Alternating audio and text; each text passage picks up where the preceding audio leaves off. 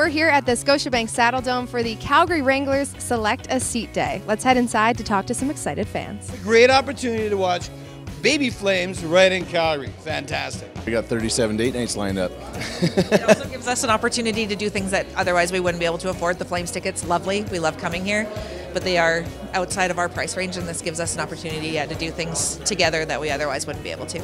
I was the uh, business manager for the Wranglers the last two years they were here. So uh, I was able to run the business operations for the Wranglers before they were sold off to, uh, to Lethbridge. Uh, and so uh, when I heard that they were coming and kept the name, here's my lapel pin from, uh, from the Wranglers uh, 30 years ago. I said, I gotta, I gotta get connected and support this. So uh, uh, Jamie, who is the new business manager, I just met him. We're gonna get together and share some ideas for promotions and, and things that, that I was able to do, you know, 30 years ago. And so I am looking forward to, to being part of this organization in whatever way, maybe as a volunteer, but certainly as a fan. I'm here with Josh and Corey Stanley. They are the very first season ticket members in Wranglers history. Guys, how does it feel to know that that's you?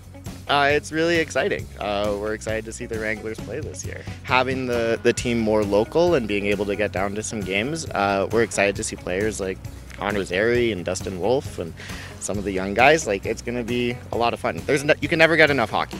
Do you have a favorite player as well that you're excited to watch? Uh, I think personally, being a goalie growing up, uh, I'm really excited to see Dustin Wolf. Is a really enticing prospect, and obviously had a lot of success so far. So.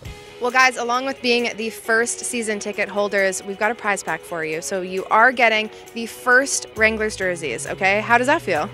That's awesome. That's super exciting. Go, go Wranglers, go!